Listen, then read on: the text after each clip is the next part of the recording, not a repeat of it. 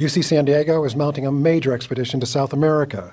Scientists will retrace the path that Theodore Roosevelt took a century ago when he explored the uncharted and piranha infested River of Doubt. It was a journey that nearly killed the former president. Engineer Marc Meyers is seeking help from the Brazilian Army, which could provide equipment and guides to help scientists navigate one of the most remote regions of the Amazon basin. The expedition will cost about $200,000 and it will cover 1,500 miles in three stages. It would begin on the gentle Paraguay River, proceed north across rugged plateaus and savannas, then stretch up the perilous, fast moving rapids of the River of Doubt Roosevelt traveled up the river in 1914 with famed Brazilian explorer Candido Rondon during an expedition devoted to science, mapping, and hunting. Along the way, Roosevelt contracted malaria and suffered a leg wound which required bush surgery.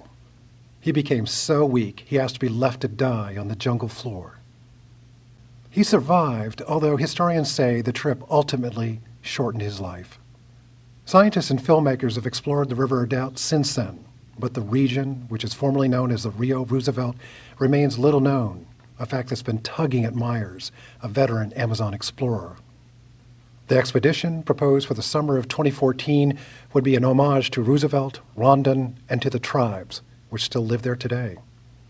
Meyers is collaborating with Jeff Lehman, an Emmy Award winning filmmaker from Del Mar who specializes in travelogues. The focus will be on changes in flora and fauna. Meyers will spend time on one of his main scientific interests, biomimicry. He studies natural materials in living organisms and tries to find ways of using that knowledge to produce products that can help people. Meyers has paid special attention to the beaks of toucans because they're very strong and very light.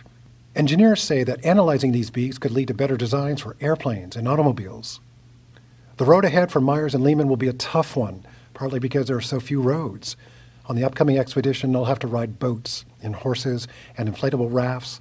They'll wear out shoes and have to cope with intense heat while avoiding potentially deadly piranha.